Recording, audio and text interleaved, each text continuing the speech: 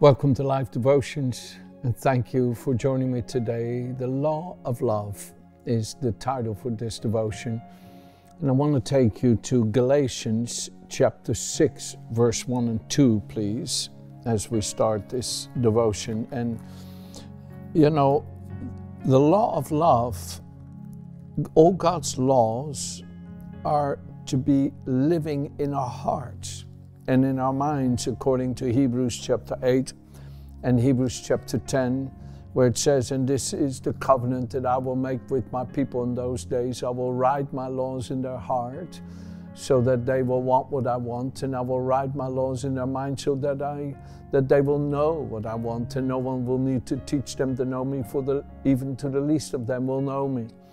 It's beautiful, the, the new covenant, how God gives us a new spiritually alive heart and spiritually alive mind in which He can manifest, reveal, unveil, cause to live His living word, His living law of life. And, uh, and it's, it's quite a revelation to get that it is alive in you. It is active, it is powerful. The Word of God never returns void, it is always active, seeking for fulfillment because God watches over it to fulfill it. So here he says in Galatians chapter 6, verse 1 Brethren, if a man is overtaken in any trespass, overtaken means caught. In other words, he didn't tell you, you caught him. You caught him in the act of it. Okay, that's what it means, overtaken in any trespass. You who are spiritual, Restore such a one in the spirit of gentleness. Again, if any man is overtaken in any trespass, you who are spiritual, restore such a man. What a good thought to have. Restore such a one in a spirit of gentleness, considering yourself, lest you also be tempted. Bear one another's burdens, and so fulfill the law of Christ. Bear one another's burdens talks about compassion, sympathy, a shared feeling in another person's hurts, pains, stumblings, failings, that there is a compassionate, merciful heart when somebody else has made a mistake or done something that was wrong. Instead of a spirit of vengeance and irritation and offense, which isn't the law of Christ. No, the law of Christ is obvious what it is throughout Scripture. It's the law of love. Without question. Look what it says here in 1 John chapter 3, verse 23 and 24, okay? And this is his commandment, or this is his law, that we should believe on the name of his Son Jesus Christ and love one another as he gave us commandment. Now he who keeps his commandments abides in him, and he in him. And by this we know that he abides in us by the Spirit whom he has given us.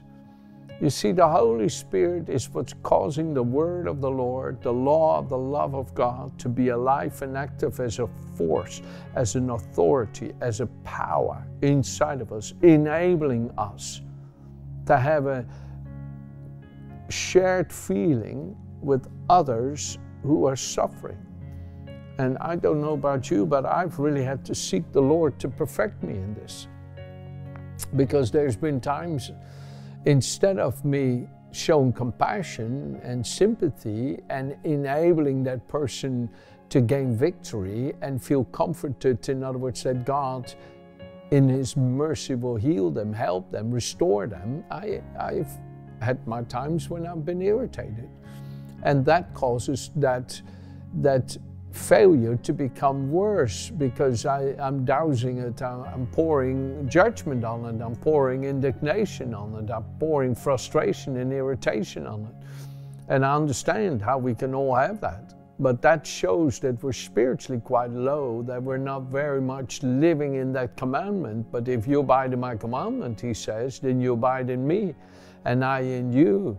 And by this you know that I'm abiding in you by my spirit that's in you. I just read to you verse 24 of 1 John 3. And so God wants us to live in such a place where we live in the law of love, where His law is in us, active and alive and powerful. And one scripture that I will read to you now that has really helped me in this area, and it's because of different things I've gone through. I mean, I'll give you a testimony. I was ministering uh, many, many years ago, and there was a great anointing upon me to heal everybody. And then, like, and uh, that's a story in itself. That anointing just left me. I'm giving you the short part of the story. And I wept to the Lord all day in the pain, in horrific pain, that that anointing left me. Oh, it was excruciating, like I had committed some great sin. Oh, it was so painful, so painful. And I kept crying to God all day long. And then in the evening, the Lord came to me in His mercy and He said to me, Robert, if you love me, keep doing what I've asked you, so my joy will be in you and your joy will be full. And the moment I got up from my knees, as in, okay, Lord, I keep doing what you've asked me, His joy filled my heart. And I had this wonderful satisfaction of mercy and grace. And the same love with which I was being loved, God employed me and trained me to love others. The Apostle Paul in 1 Corinthians chapter 12 talks about the many gifts and graces of the Holy Spirit and how that causes us to walk within certain positions within the kingdom because of the ability that is being supplied by the Spirit. He says, But then, he says at the end of chapter 12, he says, But I will show you a way that's much higher. Well, how, what could be higher than having a gift of miracles, of a gift of healing, or a gift of the word of knowledge, of the word of wisdom, or to have a discerning of spirits and, and, and all these different graces, the, the working of miracles and apostolic and authority? I mean, you read all that in chapter 12 of 1 Corinthians. What could be higher? He said, If I had faith to move mountains but have not love, it avails to nothing. It's like a clinging cymbal. It, it helps nobody. If I had, if I had knowledge to know all things, but have not love, if I would give myself to be burned and all that I possess for the poor, but have not love, it won't impress God. Love is kind. Love is patient. Love does not insist on its own right. Love is not vainglorious, rude, or unmanly. Love bears up on anything and everything without failing. Love always believes the best. Love never fails. And you see, the Apostle Paul talks about us living in this law of love, right? Bear one another's burdens so that you may fulfill the law of Christ. So that scripture that the Lord Jesus spoke to me in my pain, in my stumbling or falling, if you want to call it like that, out of that gift, out of that grace, was, for, was John chapter 15, verse 9, where it says, where Jesus says, As the Father loved me, I also have loved you. Abide in my love. I love how the Amplified would say it there, helping us to, to comprehend what the real fullness of the scripture is saying here. Come and abide in the Father's love with me. I am loving you with the love I'm receiving from the Father. Come and abide in the Father's love with me. If you keep my commandments, you will abide in my love, just as I have kept my Father's commandments and abide in his love. And these things I've spoken to you, that my joy may remain in you and that your joy may be full. This is my commandment, that you love one another as I have loved you. This is my commandment, that you love as I love. Come on, if there is so many different responsibilities or thoughts or feelings in life, or maybe you're yourself in a time crying out, Lord, what do you have for me? Father, I don't feel my life is meaningful enough. I don't feel my life is fulfilling its full potential, full purpose, Lord. What is it that you want from me? And Heavenly Father will simply say, Love as I love. In this, my joy will be in you, and your joy will be full. Love, love the people right in your own home, in your own local church, in your own family circle, in your own community. Love those who hate you. Love and bless those who curse you. Love and, and do good to those who cause you pain and, and discomfort. Come on, be perfected in love. He who loves is of God because God is love. And as we keep loving, we're abiding in God and God is abiding in us. And in that communion with God, His love in us is perfected. Oh, how the Lord is looking for you to grow so strong in this of love that you will never be caught off guard when you're going through a time of testing and trial, when you are having the privilege to endure the failings and shortcomings of others and carry them, bear one another's burdens, so fulfill the law of Christ that you carry them. Carry them in a time maybe of their failings when they maybe don't immediately want to listen and don't want to obey and don't want to change and don't want to respond. I mean, remember how patient the Lord's been with you. He loves you. He says, Love others as much as I've loved you. Remember this. So let me close with you um, two, two thoughts, okay? Two quick thoughts. Psalm 40. Oh, what a phenomenally powerful prophetic psalm of David. But he says, and I'll read from the Amplified, verse 6 Sacrifices and offerings you do not desire, nor have you delight in them. You've given me the capacity to hear and obey your law, more a more valuable service than burnt offerings and sin offerings which you do not require. This is this is also quoted in Hebrews chapter 10, what I'm reading you. Then said I, Behold, I've come in the volume of the book it's written of, the, of me. I delight to do your will, O my God. Yes, your law is within my heart. Oh, how Jesus looks at you with such uh, pleasure, pride in the sense like a parent who's proud of his child who does well, you know, the right kind of pride. How he looks at you with such pride when you love as He loves those in your own home and serve them sweetly by laying down your life to serve them. Because Jesus says there in John 15, He says, No greater love has any man than to lay down his life for another. And when you keep sweetly laying down your life to serve, don't ever think that your Heavenly Father disregards that or forgets about that. Oh, absolutely not.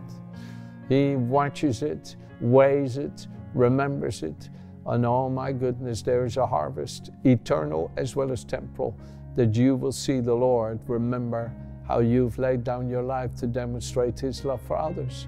And when His law is written in your heart, is living in your heart, active and power there by the Holy Spirit and the written word, it will activate you and enable you to love others when they are going through some failing or trial, when the brother's overtaken in a fault. Let those of you who are spiritually mature in a spirit of gentleness restore, not condemn, restore. So let me close with you from Job. This is from the Amplified Bible. Oh my goodness, I, I find this very helpful. This, these things have helped me and they keep helping me because I kind of keep growing in them daily. The law of God needs to be kept alive inside of you through your communion with the living Christ who feeds you and feeds you with the knowledge of Himself and the Spirit and life, that the Word is active and powerful and all His promises are yea and amen in your heart. So here I close with these few verses from Job chapter 6, starting at verse 14 in the Amplified. To him who's about to faint and despair, kindness is due from his friend, lest he forsake the fear of the Almighty. You, my brethren, have dealt deceitfully as a brook, as a channel of brooks that pass away, which are black and turbid by reason of the ice in which the snow hides it. When it gets warm, they shrink and disappear. When it's hot, they vanish out of its place. The caravans which travel by way of them turn aside, and they go to the waste places and perish. Such is my disappointment in you, the friends I fully trusted. The caravans of Tema looked for water, The companies of Sheba waited for them in vain. They were confounded because they had hoped to find water. They came there and were bitterly disappointed. Now to me you are like a dried up brook. You see my dismay and terror and believe me to be the victim of God's anger. You are therefore afraid to sympathize with me.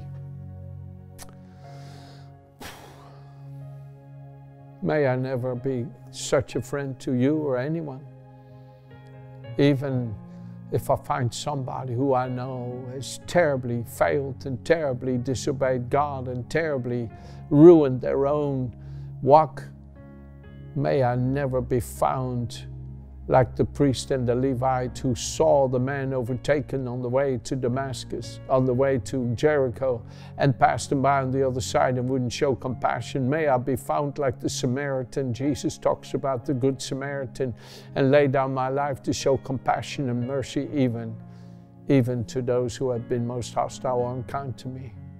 May I never wish for, for, for vengeance. May I never wish for vindication. May I never as I am what I am by His amazing grace, who bore all my transgressions and sins on the cross and suffered such a horrible death to empower me with such love and to write that love into my heart like an absolute law that trumps above every force of evil and darkness to rescue the most horrific soul from the grips of death and hell. Oh, may our hearts be so alight with the law of God that we may have the grace sufficient to show compassion. Say amen. Have a good day.